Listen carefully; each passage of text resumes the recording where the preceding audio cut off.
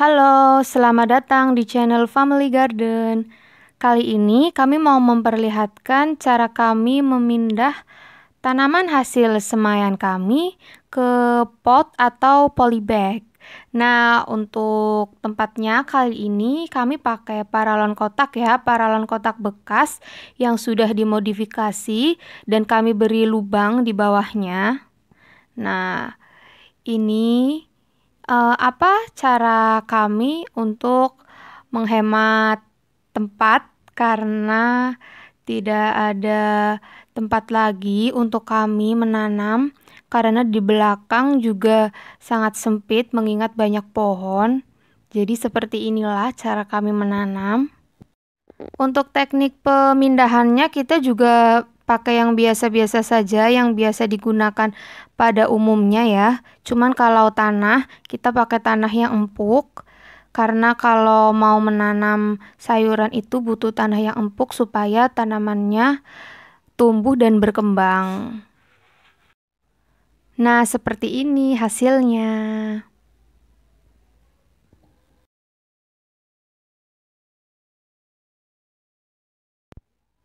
Oh, selain kami semai cesim, kami juga sedang semai kel.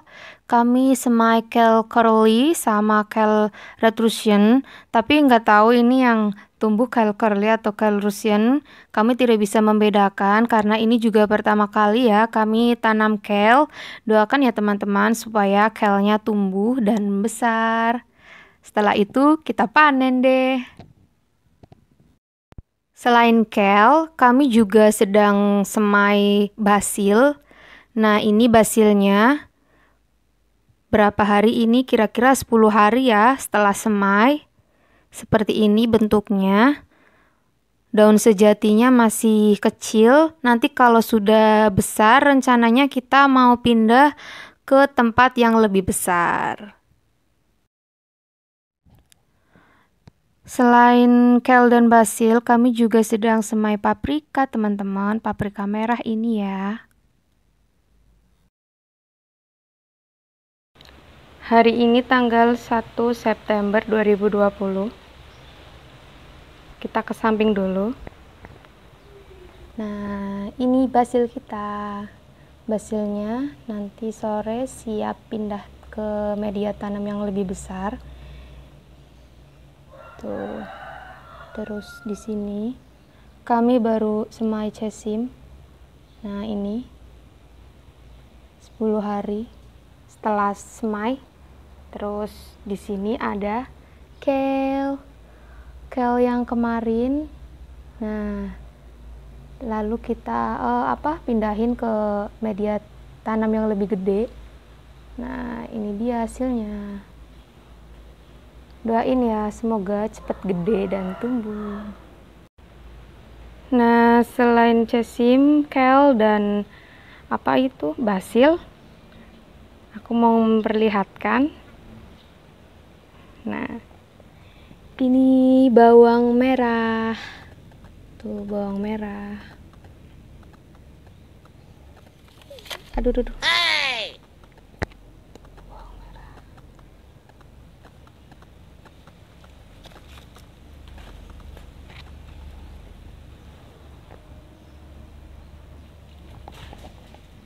Bawang merahnya. Udah apa itu namanya? Sudah gede-gede ya itu. Kemarin tuh kecil-kecil.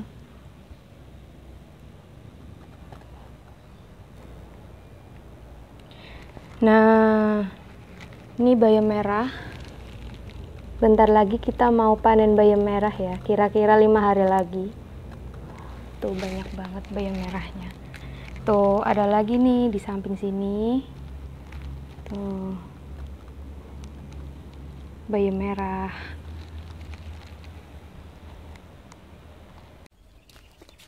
Oke lanjut. Karena basilnya udah agak besaran jadi rencananya kami mau memindahkan basil ke polybag teman-teman. Nah, kami saat ini sedang mengolah tanah yang akan kami gunakan sebagai media tanam basil. Nah, campuran tanah biasanya kami pakai kohe kambing, tapi yang halus ya. Kalau yang masih bulat-bulat, masih berbentuk, takutnya nanti media tanam akan menjadi pasek ya, teman-teman.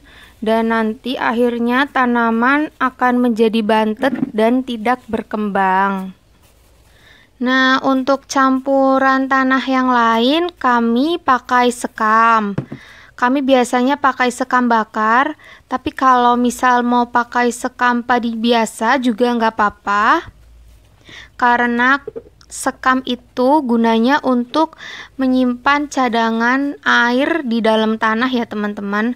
Jadi eh, sekam bakar itu sangat penting dalam menanam sebuah tanaman.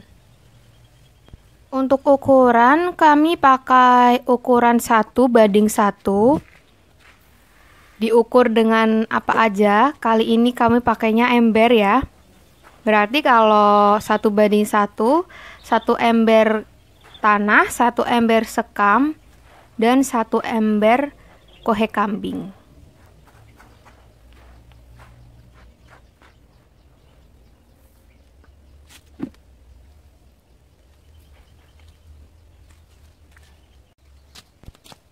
Oke, campur mencampur tanah sudah selesai ya. Saatnya mari kita bawa tanah ke depan rumah karena kita nanti mau memindahkan basil di depan rumah.